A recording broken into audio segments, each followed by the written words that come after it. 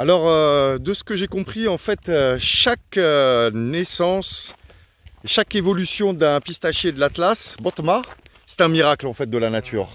C'est pour ça qu'ils sont très très précieux à, préserver et à garder. Et vraiment, c'est vrai que là, en deux jours, en les découvrant, en découvrant donc ces arbres assez solitaires hein, quand même, hein, au final, ils poussent pas, ils évoluent pas trop en forêt, mais plutôt à des spécimens un peu éparpillés ça et là. Donc je pense que c'est une espèce qui a besoin d'espace, de beaucoup d'espace. Euh, je commence moi aussi à, tomber amoureux aussi de, cet arbre et surtout de, son tronc et de, son système racinaire. Vraiment, euh, c'est un artiste. Il sculpte en fait, il sculpte dans le bois. Voilà, là on s'approche de, ce très beau spécimen. On va aller boire la taille quand même. Hein. Donc vous voyez quand même l'intérêt, un des premiers intérêts qui n'est pas forcément un intérêt économique, hein, mais un intérêt tout simplement euh, de bien-être. Euh, le premier, bah, c'est de profiter de ce spectacle, hein, de, cet arbre majestueux. Et puis, euh, bah voilà, on peut faire des haltes comme ça parce que ici, l'ombre, quand même, hein, dans, ce genre de région, l'ombre, c'est un luxe.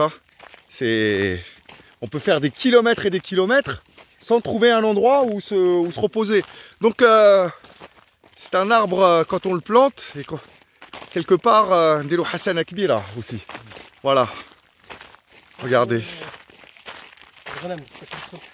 Ouais, voilà, le pour les troupeaux. Voilà. Hier, euh, c'était assez marrant parce que on est allé acheter des, graines en fait. Et le commerçant, quand Saïd et Mohamed lui ont dit qu'ils plantaient l'arbre, parce que lui, il vendait les graines pour les manger, il nous a regardé avec un regard, tu te souviens, Saïd qui fait Khzarman Je crois j'ai tout bizarre. Ouais, je crois. Je crois le Benlo. Voilà. il n'a pas compris que quelque part, heureusement, parce que euh, Huma, quand ils prennent, euh, ils collectent toutes les graines entre les éleveurs euh, et aussi donc ces gens qui les vendent, bah il en reste plus pour la reproduction. Donc il n'avait pas trop compris qu'en fait quelque part ce sont des gens comme Saïd et Mohamed euh, qui vont pouvoir euh, leur permettre de continuer à exploiter euh, les graines de ce pistachier. Un grand merci à eux. de nouveau, un grand merci et bonjour à Halim Brahmi pour son travail vraiment très très important.